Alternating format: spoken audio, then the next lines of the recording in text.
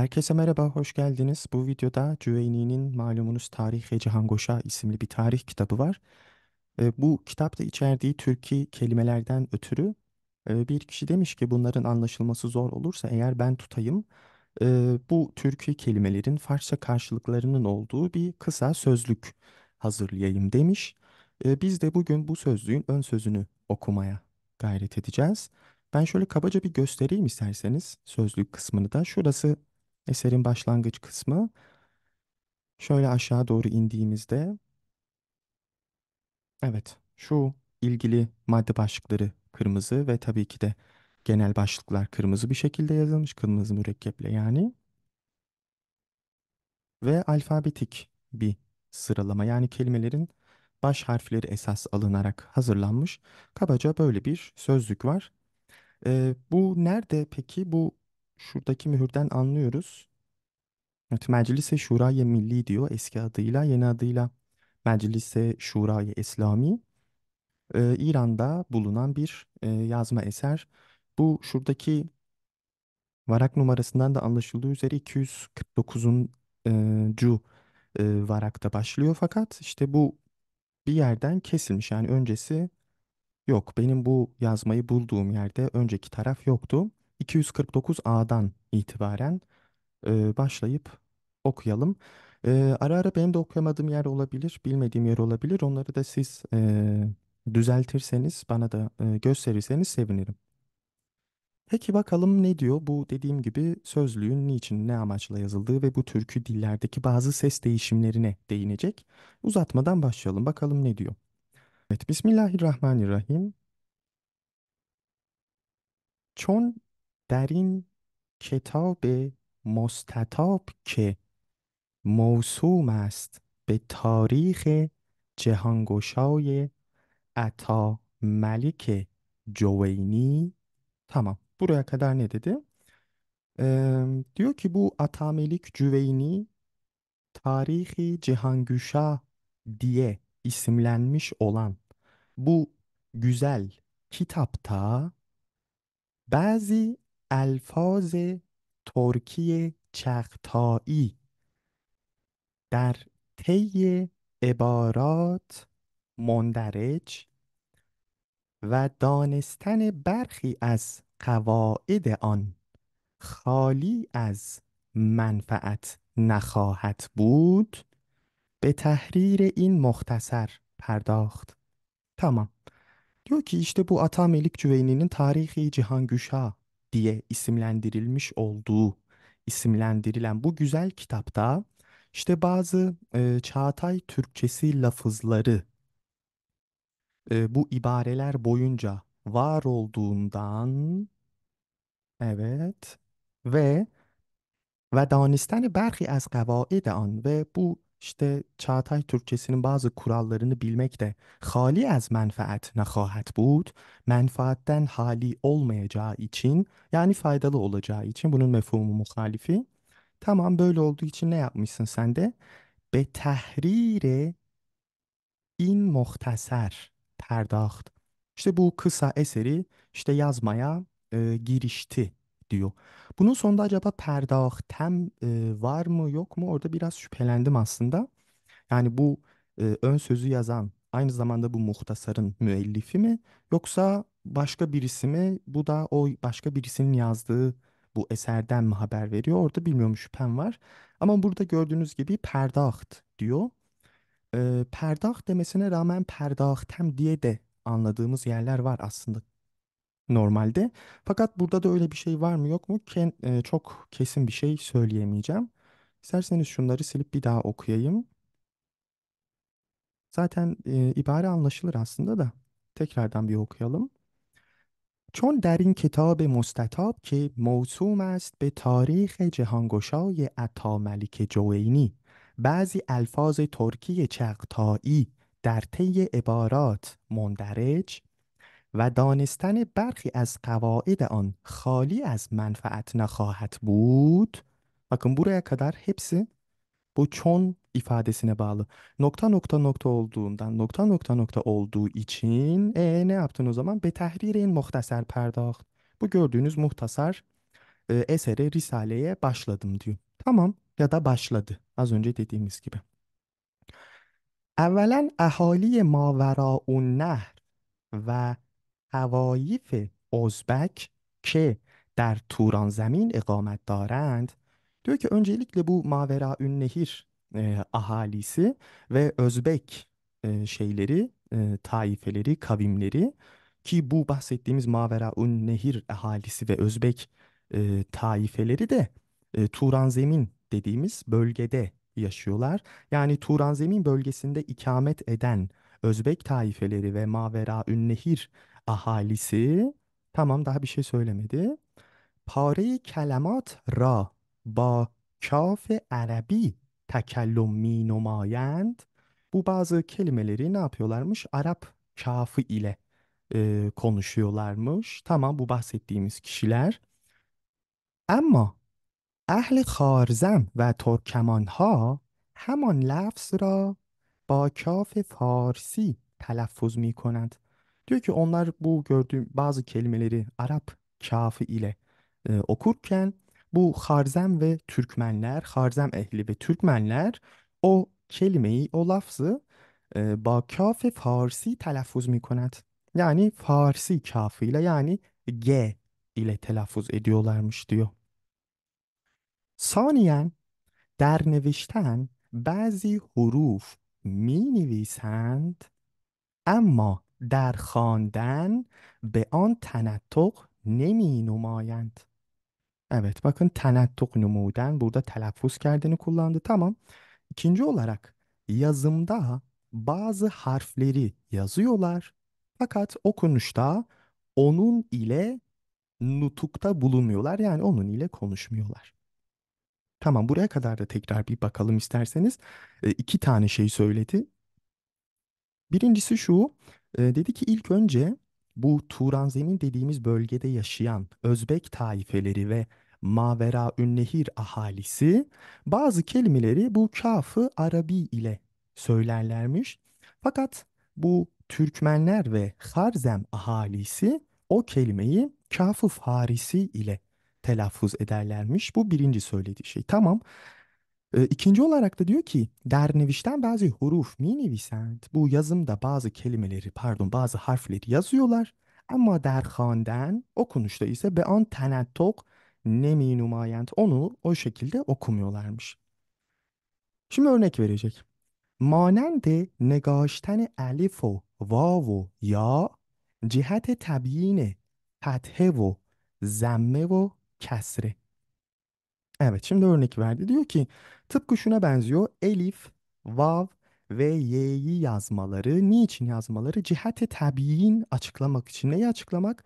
Bu fetha mı, zamme mi yoksa kesre mi olarak okunacağını göstermek için elif, vav ve y'nin yazılması mesela örneğin diyor. Veli fakat in kaide hem fakat bu kaide de umumiyet nedaret. Bunu da böyle genele yay- yayacağımız bir kaide, kural değil diyor. Ve diğer anki ve başka bir konu da şu ki gahi kimi zaman dalo ta-e garaşet bu garaşet bildiğiniz ebced e, sisteminde bir e, harf bölümüne verilen isim. Diyor ki kimi zaman da bu garaşet dediğimiz o kısmın T ve D sesi be yekdiger birbirine tebdil mi şevet birbirine dönüşüyor diyor. Min gayri etterat.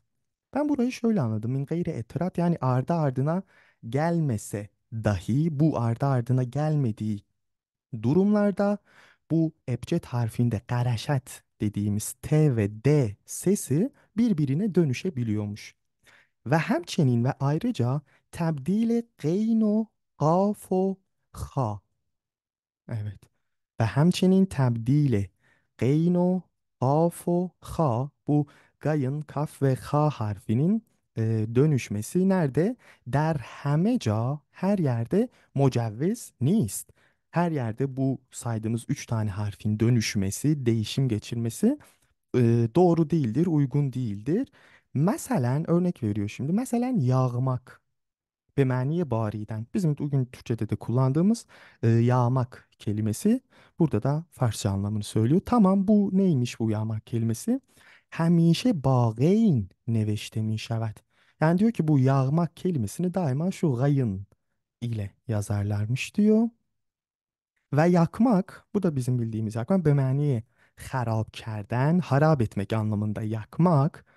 Ve başka ne? Korku, به معنی خوف, işte korkmak yani korku anlamındaki şu korku kelimesi de ne diyormuş buna da? Daimen ba kaf nivisend. Bunu da daima kaf ile yazarlarmış. Yani yağmak anlamında yani bariden anlamındaki yağmağı gayn ile yazıyorlar yakmak ve korku kelimelerini ise kaf ile yazıyorlarmış daima. Behilafe şunların aksine. Korgi ya da kargi nasıl okunuyor bilmiyorum bunu ve e, korgavol eğer bunu da doğru okuduysam diyor ki bu iki kelime de ki bu iki kelime de ke tebdil gayne vesati anha bunların ortasında bulunan bu gayınların e, neye dönüşmesi? Bekaf, onların kafa dönüşmesi caiz est. Evet. Şimdi bu söylediği yağmak kelimesinde yakmak ya da korku kelimesindeki gayın ve kafların farklı bir şekilde yazılması uygun değildir. Farklı bir şekilde yazılmaz dedi. Ama şu iki kelimede e, kargi diye okuyayım ya da karagi nasıl okunuyor bilmiyorum ya da e, kargavol ya da işte bu gördüğünüz kelimelerin ortasında bulunan gayınların tebdili gayne vesati bu ortadaki e, gayınların dönüşmesi neye bekaf kafa dönüşmesi caiz est. Onlar uygundur olabilir diyor. Ve hakeza ve yine işte böyle bu şekilde e, mubadele-i sine muhmele bu noktası sin neye dönüşmesi? Besat onun sada dönüşmesi ama bu sade muhmele yani noktasız sada dönüşmesi ve ta-i garaşet yine bu ebceddeki T sesinin beta-i hotti bu hotti de yine ebcedde garaşet gibi bir takım ki- e, harf toplamlarına, e, harf grubuna verilen isim. İşte bu Karaşat e, bölümündeki T'nin de şu hotti dediğimiz T'ye dönüşmesi. Sadece buna mı? Hayır ve aynı zamanda vedae mo, vedali muhmeli noktasız dal harfine dönüşmesi. Örnek mi var mı? O da var. Manen de su. Bildiğimiz su. Bakın diyor su kelimesi gibi. Ke. Ebaret az abest yani ab su anlamına gelen bu su kelimesi gibi. Bunun neye dönüşmüş peki? Ber su. Bakın şunu söylemeye çalışıyor yani şurada biz şunu sin ile yazmışız fakat sad ile de e, yazılabiliyor diyor. Bunu şurada söylemişti ya. Mubadele-i sine muhmeli noktasız sinin e, besade muhmeli noktasız sada dönüşmesi örneğini de verdi. Bu bunun örneğiydi yani. E, başka örnek ve tukkus bemaniye noh işte bu bizim dokuz dediğimiz kelimenin neye dönüşmesi? Ber tokkuz. Bakın şurada T ile burada şu T ile. Bu da şuraya örnek. Ta-e karaşat, ta-e hotti. Yani böyle de bir değişim olabilir diyor. E başka örnek var mı? Başka örnek de var. Şimdi sadece şuna şu örnek kaldı. Dali mühmeleye dönüşmesi. Diyor ki ve at. Bildiğimiz at kelimesi. E, be maniye asp. a- At anlamındaki. Evet. At anlamındaki bu at kelimesinin de neye dönüşmesi? Ber at. A'da dönüşmesi. Burada ne oldu? Bakın sondaki T D'ye dönüşmüş. Bu neye örnekti? Yani ve dedi ya ve ta-i garaşat ee, beta e, hotti hem bu hotti ta'ya dönebilir ya da dali muhmeli noktasız dale de dönebilir. Bakın dönüşmüş mü? Dönüşmüş. Tamam. Sonra ne diyor? Ve gahi ve kimi zaman da ve gahi hem kimi vakit de be vakte erade ta'nis hani eğer bir kelimeyi dişil yapacaksanız diyor ber ahir kelimat bu kelimelerin sonlarına mim elhak konent bir mim eklerlermiş. Örnek misle beyk bu beyk gibi ya da beyg e, bunun neye dönüşmesi? Beygom Begüm dediğimiz kelime var ya bu beyk kelimesinin beygoma dönüşmesi. Bakın sonuna bir M geldi. Bunun da e, dişillik alameti olduğunu söylüyor. Başka örnek var mı? Var. Ve han ve hanum. Han kelimesi erkek. Bunu dişile çevireceğimiz zaman hanum olduğunu söylüyor. Başka e, hemçinin yine ayrıca e, gahi harfi kaf kimi zaman bu kaf harfi gahi harfi kaf ama hangi harf e, kaf harfi harfi kaf ahari kelimat ra bu kelimelerin sonlarındaki kaf harfini yani kaf sesini به غین معجمه tebdil numuden caiz است. İşte bu noktalı gayın harfine dönüştürmekte caizdir, uygundur, ola- olabilir diyor. Örnek Manende lafz yak. Bu yak lafzı gibi ki emr be harap kerdن است. İşte bu harap etmek, yakmak anlamında olan yak lafzının e, neymiş? Yağ goften ve neveşten galet nist. Bakın sondaki kaf ile yazılmıştı ya burada. Diyor ki sen bunu kaf ile değil gayn ile de yazarsan, e, gayne mucame noktalı gayn ile yazarsan e, ya da söylersen galatnist. Bu bir yanlışlık değildir diyor. ecmalen özetle diyor. Çon e, خود ما çon خود ماها ehle lisan نیستیم diyor. Biz e, dil bilimci olmadığımız için bu lisan ehli olmadığımız için e, ve kitabi hem محتوی بر قواعد و رسم الخط مصطلحات ترکی çağatayı در dest نداریم. Biz kendimiz bir e, lisan ehli olmadığımız için ve elimizde de e, bu Çağatay Türkçesi terimlerinin ve aynı zamanda yazım e, özellikleri kuralını içeren bir kitapta olmadığından e, etale zekire kaide ve kanune an işte bu konudaki kanunların ve kaidelerin neler olduğunu anlatmayı uzatmak Hali az bazı mehturat nehahat bud. Bunlar sıkıntılı olabilir diyor. Yani ben de lisan ehli değilim. Şimdi burada atıp tutuyorum ama e, çok da uzatmamak lazım diyor. E, tamam. E, ensep an ki hani daha münasip olan şudur ki nedir münasip olan? بر توضیح و تبیین پاره لغات که در حین یا در حین مطالعه به این کتاب محتاج خواهند بود اکتفا کرده şevet. Tamam diyor ki ben bu işleri çok belki bilmeyen bir insanım. O bahsettiğimiz Çağatay Türkçesini. E, dolayısıyla eğer bundan daha da çok e, laf edersem hata edeceğim diyor. Uygun olan nedir? Ee, diyor ki bu kitapta e, okuma esnasında ihtiyaç duyulacak olan e, bazı kelimelerin e, açıklama ve beyan etme ile e, iktifa edilmesi daha uygundur. Evet, ensep aneste dönüyor bu da. Evet, e, umarım açıklayabilmişimdir. Gördüğünüz gibi zor bir şey metin değildi.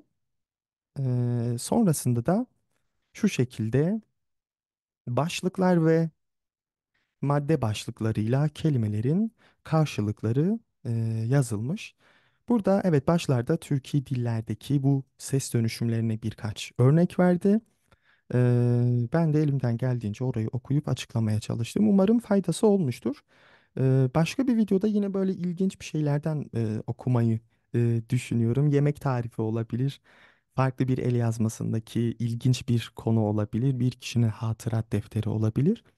Burada sadece böyle bir eserden hem sizi haberdar etmek hem de e, bunun ön sözünde bu eser neyden bahsediyor onu görmek amacıyla okumaya çalıştım.